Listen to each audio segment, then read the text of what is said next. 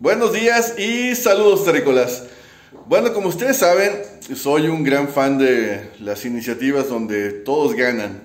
En este caso, pues ya hice un video acerca de Airbnb, donde pues es, es fabuloso, ¿no? Que, que entre particulares nos ayudemos rentándonos pues nuestras viviendas que tenemos por ahí desocupadas, sacándole provecho y obviamente pues con son al final de cuentas una casa, un departamento es más acogedor que un hotel, sobre todo cuando vas con familia.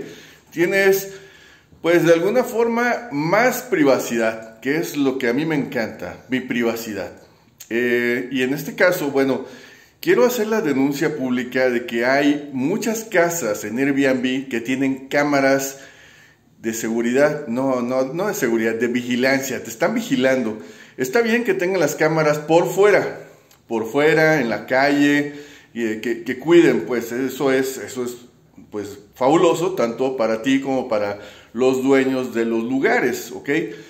Pero tener cámaras al interior, eso, eso da mucho que pensar. Yo no, no, no quisiera ser mal pensado, quisiera pensar que te están cuidando, pero pues que cuiden la periferia de la casa, más no a los patios internos.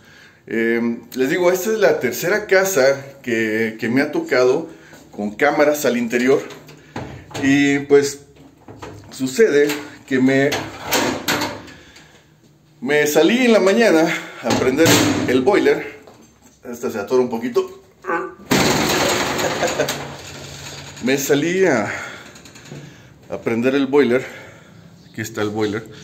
Ven, este, hay pues barda alta, no hay, no hay vecinos, está padrísimo pues, porque tienes mucha privacidad. Y resulta que hay una cámara ahí. Entonces, esa cámara,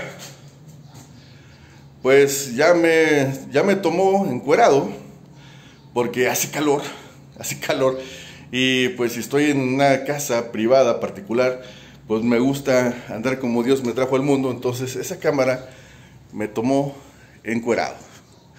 Entonces, eh, bueno, qué bueno que me pasó a mí, ¿no? A mí la verdad es que no, no me importa, no importa que vean mis miserias, pero eh, pues hay personas que sí son más, más, más cuidadosas con sus personas, sobre todo bueno, aquí en México pues las mujeres obviamente se cuidan más de que, de que las vean desnudas, ¿verdad? Y porque también pues no sabemos cómo se... qué uso vayan a darle a esas grabaciones. Entonces pues aquí está la denuncia de este Airbnb, este está en Aguascalientes. Ya me tocó en Morelia, Michoacán, ya me tocó en Tampico, Tamaulipas, que hay cámaras en los patios interiores. Entonces, bueno, que pongan las cámaras para otro lado. Y bueno, en este caso también tengo que decirles que hay una, una cámara ahí este, que está apuntando hacia acá. Y obviamente sabemos que se pueden manejar las cámaras. Ahí está en la esquina. Y tenemos una cortina transparente. Todas las cortinas en este Airbnb son transparentes, curiosamente. Entonces, pues si vemos, bueno, ahí está la otra, la otra cortina transparente que bueno, si te gusta dormir hasta tarde no, no, no, no está chido. Y ahí está la, la cámara. Ahí está la cámara. La cual pues obviamente puede ver hacia adentro por las cortinas transparentes en la noche.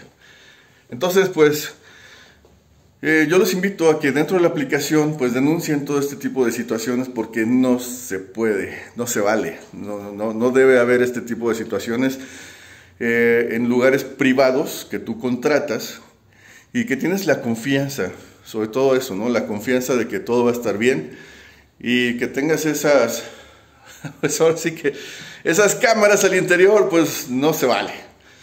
Pero bueno, eso es lo que quería compartirles el día de hoy. Como siempre, síguense divirtiendo. Cambio y fuera.